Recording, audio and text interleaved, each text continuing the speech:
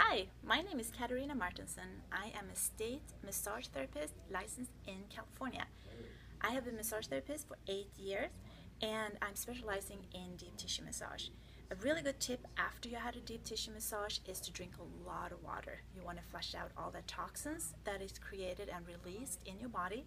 Otherwise you're going to be very sore the next day. And also a great way is to do an Epsom salt bath right before you go to bed. If you want to find out more tips about how to do what to do after a massage, you can uh, follow me on Facebook and that's Katarina Martinsson. You have a great day.